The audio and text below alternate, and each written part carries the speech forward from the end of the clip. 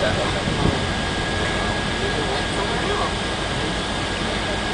Here you go, Paul. Thank you very much. Much appreciated. Uh, you guys aren't going to start checking in all day? No. Yeah. yeah, we're contemplating it. I don't believe you guys said years long, so. It could be fun, but... I mean, I, I've processed oh, a check for Michael Dorn. I've held his signature in my name. He's a aviation and he donated to the Chlorine Pursuit Technology and Aviation Fund. And I'm looking at the check like Michael Dorn. This sounds familiar. So I got him yesterday. Nice. With, uh, you know, Jenna Vasquez is. Yeah. Does the business and all that. Okay.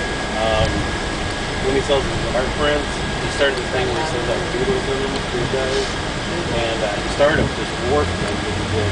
He did like a whole series of Next Generation. But this first one was Worf.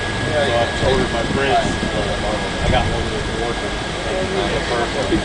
So I've been waiting two years to get that thing signed by Michael Dorn. So, Awesome.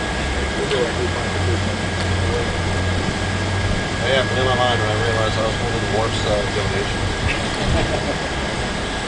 how much he's done? Uh, well, I don't work there anymore, so I can tell you. It was, it was lots of. Very good. That's all I needed to know. He threw some bucks. It wasn't like 500 bucks or something. No, he was